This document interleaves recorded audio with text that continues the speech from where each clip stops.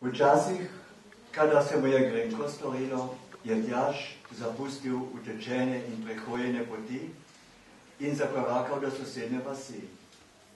Malo hiš je bilo tam raztresenih po pobočju, nekako središče je bila cerkev s pokopališčem na okoli. Na pokopališčih, na domačem in na tujih, se je ustavljal iz notranje nuje, prebiral tam napise in podatke, si ogledoval slike in kipce zna, zunanja znamenja za pokrivanje notranje stiske. Kdaj je kdo nekaj storil samo zame in za nekoga drugega? Kdaj je kdo nekaj namenil le izključno samo meni in nekomu drugemu? Je razmišljal tjaž v pričo tam uklesanih rekov, stihov, označen in opisovan, nanašajočih se na vajne. Storil karkoli, če se je deležen samo on in nihče drug. Mimo pokopališča zanj domala ni bilo poti. Ob dnevu mrtvih, pa tudi med letom, so ljudje hodili na grobove. Tjaž je hodil na pokopališča. Ni se on ustavljal, ona so ga ustavljala in obljubljala odgovore, ponujala izhod iz duševne zmede. Pri tej cerkvi, edini s pokopališčem v bližini zavoda, je bil že nekaj krati v nemirnem pričakovanju nečesa neuresničljivega, a v čustvih in v duhu vendarle pričakovanega. Tu so se osredotočale predstave in zaznave, se združevale na enem mestu. Ni bilo vzdušje kamnov in razno raznih križev, ni bila spokojnost, razprostirajoča se po njivi mrtvih, ki ga, je, ki ga je potegnila tja. Ni bila tišina, ki se je v njegovo zapredala.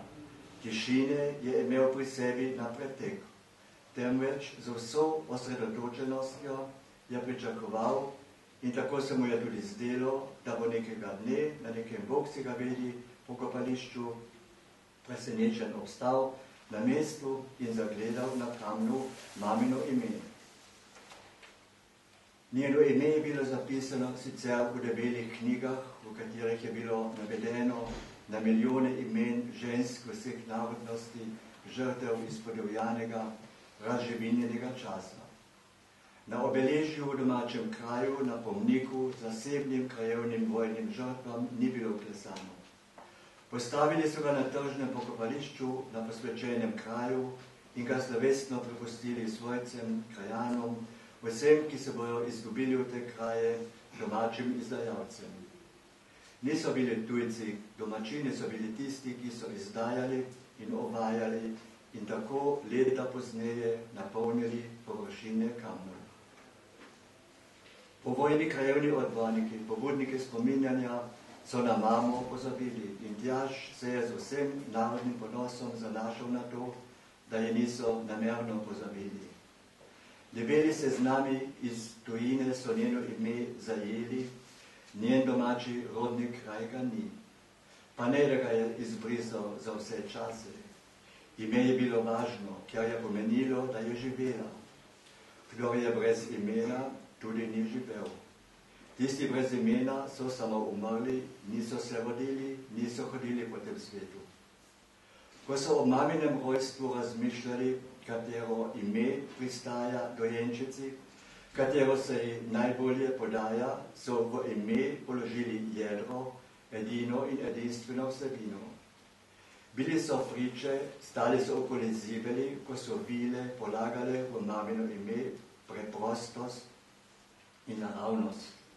Pridne roke, da jo bojo človečile, so napovedale. Obilja in nebes niso napovedale.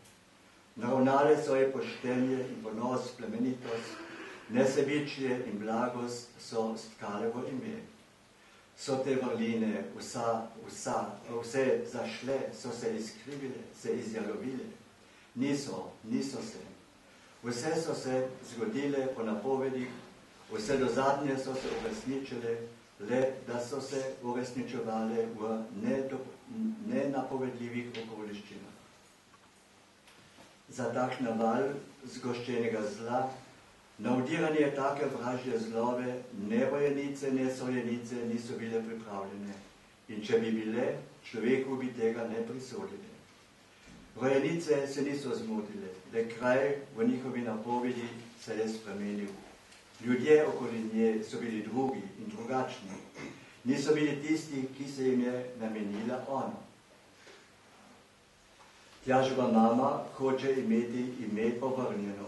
Hoče, da ga je duhovno oživijo, ko ga ne morejo oživiti z nečem telesnim, z nečem osnovnim in predmetnim. Dve leti poživinjene nasilnosti sta bili dovolj, da so njeno ime zabeležili, pa bi ne bila dovolj vsa prejšnja mirna leta. Ne ime napadlih vojakov na bojiščih, ta niti v malem ne, niti v zarodku ne, temveč imena pomojenih po taboriščih, po kacetih so današnjikom pritrpela, da živijo v srečnem času, v miru in svobodi, v blaginji in izobilju. Resnica je v trpljenju, ne pri polnih skledah in na toplem. Resnica ni na varno ograjenem domačem dvovišču. Tjaževa mama hoče za imenom spet pripasti temu kralju, kjer je prebila večino svojih knjig in kjer jih je prebila tu in nikjer drugod. Za izvršitev te naloge se je Tjaž postavil in zadovoljil sam, poiskal bo njeno izgubljeno ime, ga od nikot priklical, ga odkopal ali samo križem rok počakal na njim. Včasih na kakem pokopališču je sedel na stezno stopničko in nič drugega počakal, da se bo kamen napolnil z njenim imenom. Z njim samim je drugače.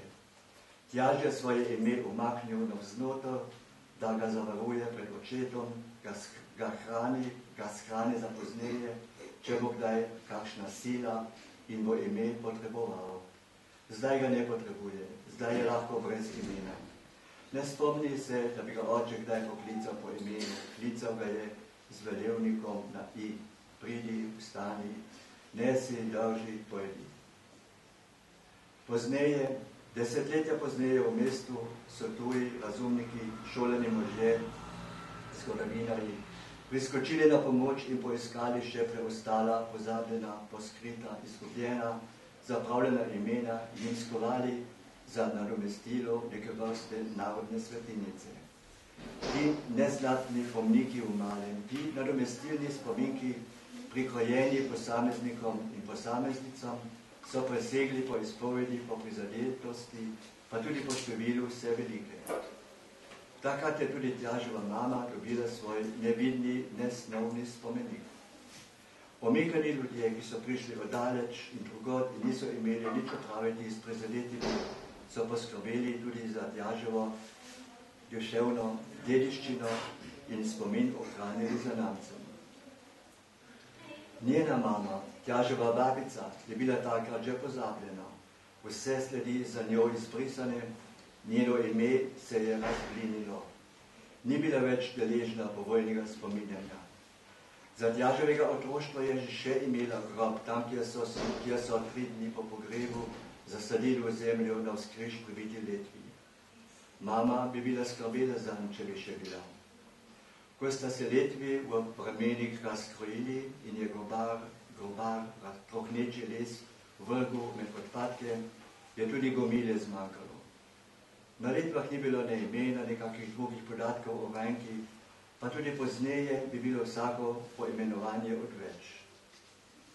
Nasutje je dolgo samevalo, se nižalo in sploščalo, dokler grobar ostanke groba ni zravnal zemljo. Pred odhodom v zavod, tudi ta imenom nenaklonjen, saj bojo vzgojitelji odslej gojence klicali vedno le s poimkom in enako se bojo gojenci klicali med seboj, le ravnateljevi ljubljenčki bojo kliceni za imenom. Pred odhodom je torej tjaž še položil cvetlice na babičini zaplaveljeni ravninici.